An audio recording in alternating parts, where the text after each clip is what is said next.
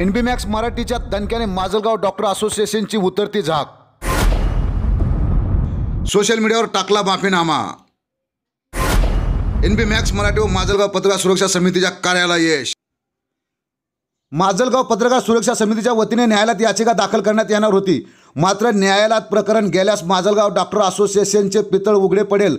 उपजिल्हाधिकाऱ्यांना देण्यात आलेल्या निवेदनाचे सत्य समोर येईल. या भीतीने डॉक्टर असोसिएशनने पत्रकार बांधवांशी जाहीर माफी मागून स्वतःचे मानकूट वाचवण्याचे केविलवाना प्रयत्न केला असल्याचे दिसून येत आहे. माजलगाव ग्रामीण रुग्णालयात एका महिलेचा बाळाचा जीव गेला. यामध्ये कोण दोषी आहे हे चौकशांती स्पष्ट होईल.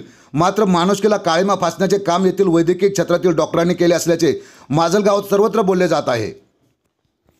सात मुलीची माता दुर्दैवाने मातृत्वाला मुकलेल्या बालकाविषयी सहानुभूती दाखवायचे सोडून डॉक्टर मंडळीने प्रसार माध्यम व नेते मंडळीवर आरोप करून निर्दयीपणाचा कळसच गाठला. मात्र एन बी मॅक्स मराठीने यांचे पोलखोल वृत्त समोर आणले. उपजिल्हाधिकाऱ्यांना दिलेल्या निवेदनात माजलगाव डॉक्टर असोसिएशनने नेते मंडळी व पत्रकारांना खंडणी बहादर संबोधून लोकशाहीचा चौथा आधारस्तंभाला मलिन करण्याचा प्रयत्न केला होता. मात्र एन बी मॅक्स मराठीच्या वृत्त समोर येताच माजलगाव डॉक्टर असोसिएशनने पत्रकार संघटना व पत्रकारांची सोशल मीडियावर माफीनामा मागून सोशल मीडियावर प्रसिद्ध केले. मात्र यामध्ये एकाही शब्दाने एखंडी कुटुंबाच्या सांत्वनाविषयी एकही शब्द लिहिलेला नाही. उलट वैद्यकीय क्षेत्रातील डॉक्टर मंडळीचा लबाडपणा मात्र यावेळी चव्हाट्यावर आला असल्याचे दिसून आले आहे. नेमकं कोणाच्या सांगण्यावरून डॉक्टरांनी उपजिल्हाधिकारी यांना दिशाभूल करण्याचे निवेदन दिले होते हे समोर येईलच. डॉक्टर एवढ्यावरच न थांबता आज पुन्हा फेसबुकच्या माध्यमातून एका वृत्तपत्राच्या कार्यकारी संपादकाला अश्लील भाषेत शिवीगाळ करून धमकवण्याचा प्रयत्न देखील केला असल्याचे बोलले जात आहे. Raj Jagirdar N B max Marathi Majalgaon Beed. Doctor असोसिएशनच्या वतीने पत्रकारावर जे आरोप करण्यात आले होते त्याचा आज माफीनामा जाहीर करण्यात आला डॉक्टर असोसिएशनतर्फे त्याविषयी आपलं काय मत आहे सर? नाही माफीना मग ते सादर केलंच की हे चुकून झालंय म्हणून. नऊ वाजताच हे करण्यात आलं सांगितलं म्हणजे म्हणजे कुठल्याच डॉक्टरने हे निवेदन देताना वाच वाचन केलं नव्हतं का निवेदनात?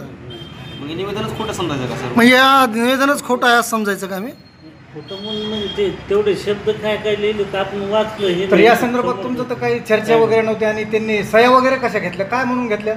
काय सांगाल नाही? नाही जनरलच असं आहे काय आपण हे नाही करा नाही तुम्हाला कल्पना दिली नव्हती का याच्याबद्दल सह्या घ्यायला होत काय असं? नाही नाही कल्पना म्हणून आमच्या समोरचं वाचलं तेवढंच दिलं काय बाकीचं हे काय नाही. अच्छा आज जे फेसबुकवर पत्रकारांना तुमच्या फेसबुक अकाउंटहून जे शिवीगाळ चालू आहे त्याविषयी काय म्हणणार तुम्ही? अकाउंटच माझं ते ओपन करता येत नव्हतं. आता ते कोणी ओपन केलं हे काही माहीतच नाही पण काय असं झालं ते. म्हणजे बालाजी मारगुडे यांना तुम्ही शिवीगाळ फेसबुकवरती नाही नाही नाही नाही काही हेच नाही. मी ते अकाउंटच हे केलं नाही. पत्रकार बालाजी मारगुडेला एकदम खालच्या दर्जाला जाऊन जे शिवीगाळ तुम्ही तुमच्या फेसबुक अकाउंटवरून होत आहे याविषयी तुमचं काय मत आहे? नाही नाही आपण केलीच नाही ना. आता त्यांना मी एवढं जास्त ओळखत सुद्धा नव्हतं. त्याच्यामुळे आपण फेक अकाउंट वगैरे दुसऱ्या अकाउंटवर झालं असेल तुमचा मोबाईल कोणाकडे असतो? काय सांगाल याबद्दल? मोबाईल मी चार्जिंगला लावलेला होता. तर त्याच्यात काय झालं काय कुठे लावलं चार्जिंग आता त्याच्यामध्ये लाईव्ह चालू आहे. काय म्हणणं आहे तुमचं?